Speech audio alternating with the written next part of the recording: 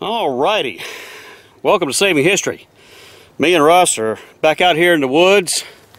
Show you, there's Russ digging a target right there. We're out here with the T2s trying to get into something here and I got a good target in the hole. I see round. Uh, I think it's uh, to be a big old flat button, but we'll go down here together and take a look at it and see what we got.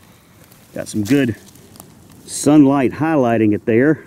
See it right there in the middle of the screen. So we'll excavate that out.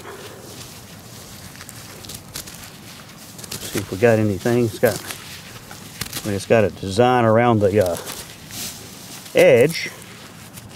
Can't tell if it's got anything else on it.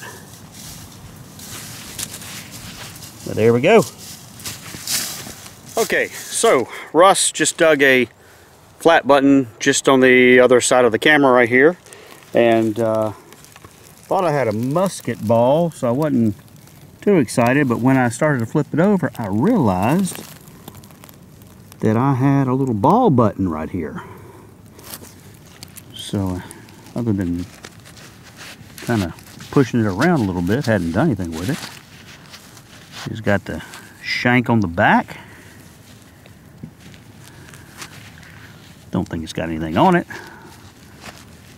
But there we go.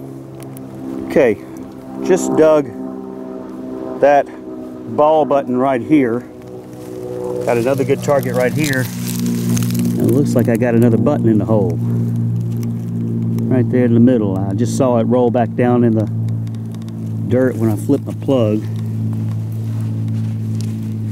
Looks like I got a shank on it for sure. Coat.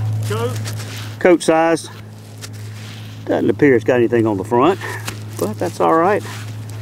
Good heavy colonial flat button.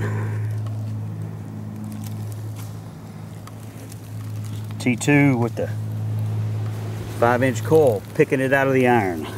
We have dug very few coins at this site. Um, until Greg dug the two real, I've dug, uh, there was like two Indian head pennies and that's it. And we knew there had to have been some. So this could be a button. I hadn't seen it, but this is an area we have hit, hit, hit. And goes to show you guys, go back to your sites because ground conditions, moisture, everything will push coins and buttons and the relics around. So Absolutely. Well, let's um, let's go see what this is. cover and see what we got. So it's heavy. That's a large cent. That's a large cent. Yeah, I can see the Yep, see the head on it. Yeah, right there. First LC we've dug out of here. All right.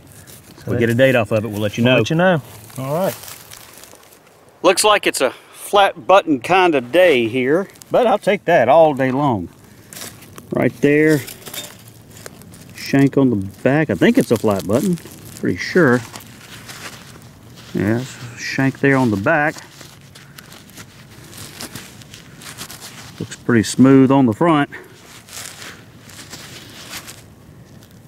Hey, take them all day long. Well, we come to the end of another day. We actually had a good day today out here in the woods. I uh, wanted to do a real quick cleanup just to show you what all we got. Um, got, uh, Russ got a nice piece of a padlock and another lock piece there, a little buckle. Get down into his brass.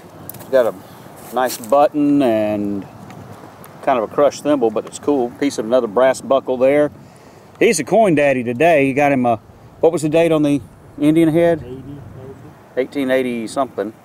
then of course there's a large cent and we hope that we'll get some uh, He's gonna have some pretty good some detail off of that later.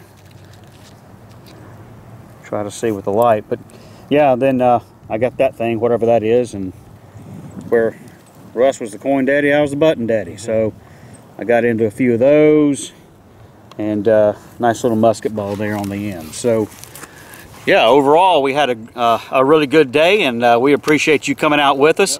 I do want to give a shout out to our buddies at uh, Treasure Mountain Detectors.